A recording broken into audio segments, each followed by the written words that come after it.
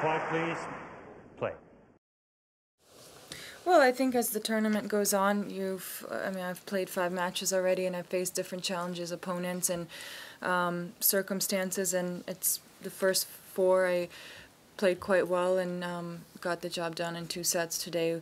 Serving for the second set um, could have made it easier for myself, but it went into the third and I still got the job done. So I think I have to be pleased with that, um, that I'm in the position of being in a semifinal again after these many years.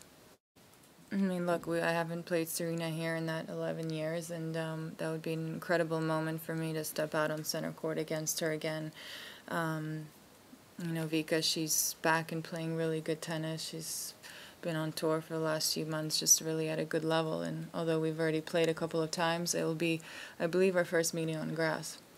Know, I had a really tough match last year against Kerber, and I really felt like, although I lost in the fourth round, and everyone always looks at results, I thought my, my game on grass had really improved in the years before. I really felt more confident, and and it was it was a bit tough because I felt like just a few points could have changed things around, and and then from then on, you never really know how things evolve and never know what chances you might have. So that was a bit disappointing, and. Um, but yeah, overall, I'm really happy I was able to take that loss and move up a few steps further this year.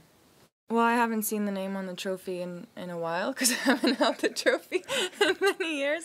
I've seen it on the board. um, I know it's there, but I would love to check it out again to make sure it's still there. That'd be nice.